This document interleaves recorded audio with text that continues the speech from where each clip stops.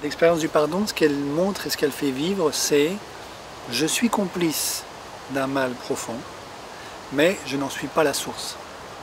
Alors pour revenir au récit biblique du serpent d'Adam et de Ève, la source est le serpent.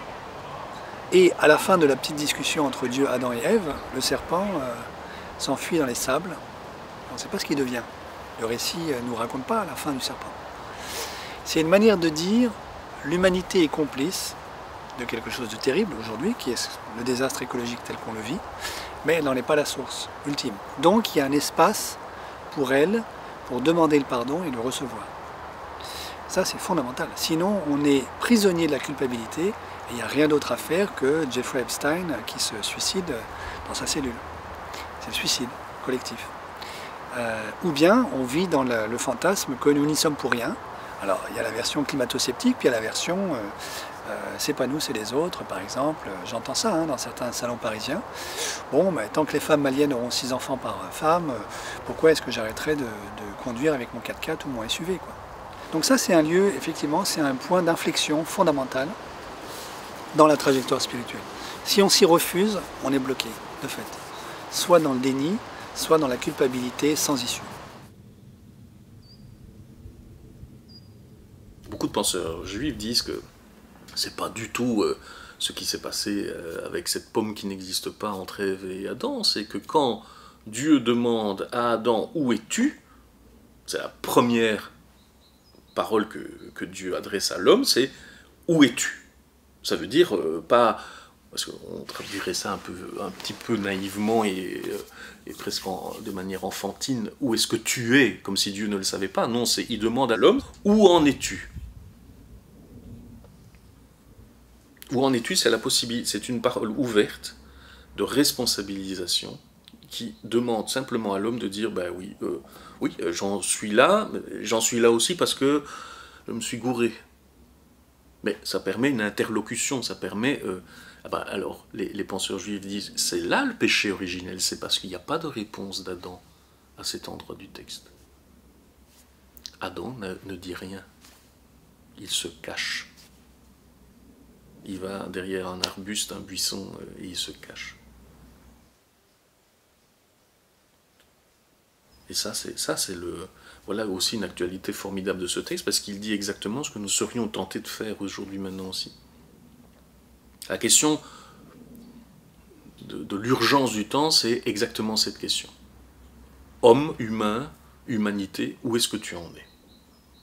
Il est encore temps, enfin, il, n'est jamais trop tard pour euh, s'asseoir et réfléchir. Où est-ce que j'en suis? Où est-ce qu'on en est collectivement?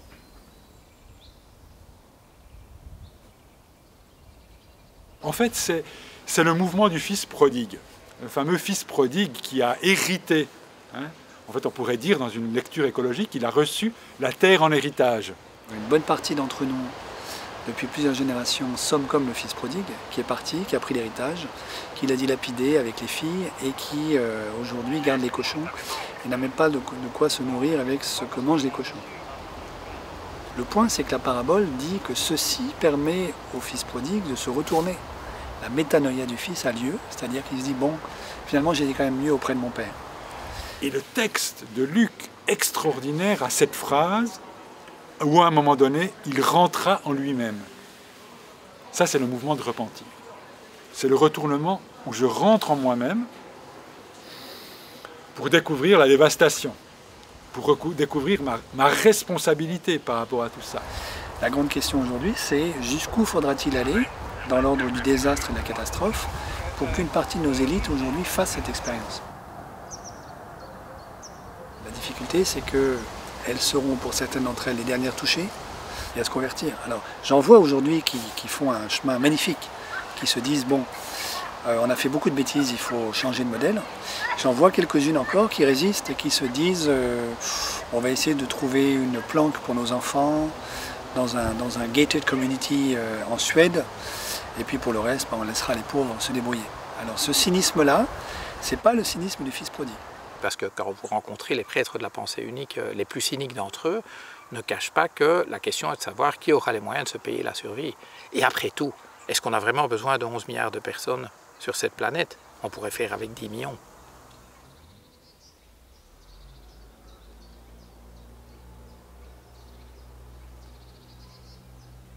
Quand j'entends repentance, pour moi, c'est faire ce travail euh, personnel ou de groupe, de se dire, ok, j'analyse ce qui a merdé, j'analyse ce qui est, ce qui n'était pas ajusté, ce qui n'était pas intéressant à faire, et comment est-ce que je peux piloter la suite. Donc il y a ça, mais c'est un mot qui picote pour beaucoup, je crois. Dans une démarche spirituelle, en fait, c'est pas uniquement avec la, la torche ou euh, la lampe de poche de la psychologie qu'on va aller éclairer ça, on va ouvrir un espace où c'est une autre lumière qui va éclairer ça. La lumière de l'esprit, la lumière du Christ dans une démarche de foi. Et cette lumière-là, alors elle est beaucoup plus brillante, donc elle fait encore mieux voir toutes les, toutes les imperfections, toutes les, toutes les opacités en fait opacités, mais c'est une lumière d'amour. Ce n'est pas une lumière culpabilisante. Et à ce moment-là, je réoriente mon regard, j'ai regardé en moi, je le réouvre, je revois le monde, la création, et je marche vers Dieu, qui en fait est là, sur le palier de la maison, en train de regarder à l'horizon pour voir si je viens, les bras ouverts, sans jugement sans me faire de reproches. Effectivement, face à cela, la foi chrétienne qui euh, euh, nous permet de dire ce poids-là, de le présenter à Dieu et de recevoir une parole de grâce pour avancer vers une vie nouvelle, et d'un point de vue spirituel, éminemment pertinente et je, pense que du, côté, alors je sais pas, je suis pas, mais du côté athée ou agnostique, euh, c'est peut-être difficile de travailler avec cette notion-là. Et combien de fois est-ce qu'on vous dit ah c'est bien parce que vous avez parlé d'écologie, ils n'avaient pas été culpabilisants. Les gens, la culpabilité, ça les, ça, ça les bloque, ça les, ça les emmène pas parce qu'il n'y a pas de chemin de réconciliation. Euh, séculier ou, laïque. Euh, c'est un chemin, c'est un chemin, ou en tout cas très difficile. Euh, donc, on a cette chance-là dans le christianisme, et en même temps, c'est une réponse très luthérienne. Ben, Luther disait "Simul justus et peccator", je suis toujours à la fois pécheur et à la fois justifié. Et sur l'écologie. Ben, je, je, me comprends aussi comme toujours pécheur, j'ai toujours besoin à nouveau de demander pardon. Et donc c'est un chemin, c'est pas un moment donné où j'ai soldé ma culpabilité ou ma responsabilité, et puis, et puis j'avance dans une sorte de sainteté écologique, pas du tout. Il y a des choses qu'on arrive à changer un jour, et puis après on recule. Et que ça, c'est vraiment aussi une rythmicité du vivant avec laquelle il faut qu'on apprenne à vivre, euh, et, de se... Voilà, c'est pas juste de se pardonner, mais c'est aussi de savoir, simplement, de savoir que le vivant fonctionne de façon cyclique, euh, et, que c'est pas grave et que on, a été plus loin un jour et puis le lendemain on recule un petit peu et puis ça sera pour avancer euh, encore un peu plus loin. Et, voilà et laisser aussi le temps du vivant d'absorber un changement après l'autre pour, pour rester en mouvement et sentir qu'on reste en mouvement même si on voudrait déjà être plus loin.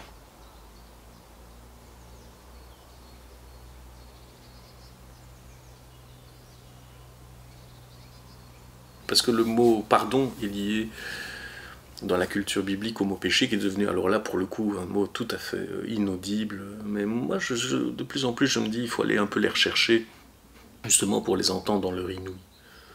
Péché c'est un mot qui en grec amartia vient d'un mot euh, hébreu qui veut dire rater sa cible. Euh, c'est ça, péché, c'est rater sa cible. Donc l'archer bande son arc, il tire sa flèche, elle passe à côté de la cible. C'est pas très dramatique, ça arrive à tout le monde. Qui ne rate pas sa cible quand dans une rencontre, une parole, un échange, enfin, on rate sa cible? En ce sens-là, je dis toujours que le péché, c'est pas une chose si grave que ça, en fait. Et du coup, on n'est pas dans une vision du péché comme quelque chose de culpabilisant et de mortifère, où il faudrait, on a très, comme l'interdiction de faire quelque chose de super chouette, mais au contraire, comme la prise de conscience qu'une certaine façon d'atteindre nos objectifs ne nous permet pas de les atteindre.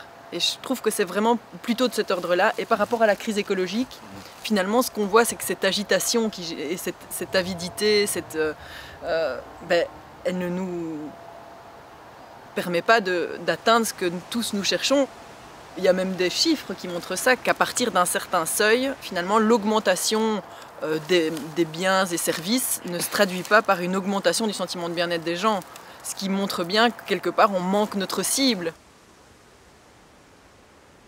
Celui qui a raté sa cible et qui sent qu'il y a eu quelque chose qui n'était pas ajusté, ben, il, en a alors la capacité, la liberté, même la joie, faut oser le dire, de demander éventuellement pardon, ce qui offre à l'autre la possibilité euh, de dire ou de pouvoir éventuellement dire oui, je, je te pardonne, euh, au sens où euh, oui, je, ne te confonds pas, je ne t'assimile pas, je ne te réduis pas à l'acte manqué, pas ajusté. Tu n'es pas réduit à, à- ce manque de justesse?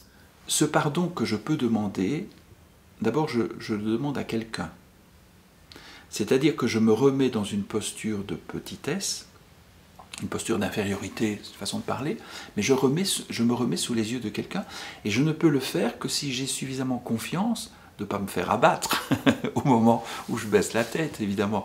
Donc cette capacité à demander pardon, elle est difficile. On ne peut demander pardon que si, que si on est dans une forme de confiance que si on se laisse regarder, il y a un cantique qui dit ça, laisse-toi regarder, que si on se laisse regarder.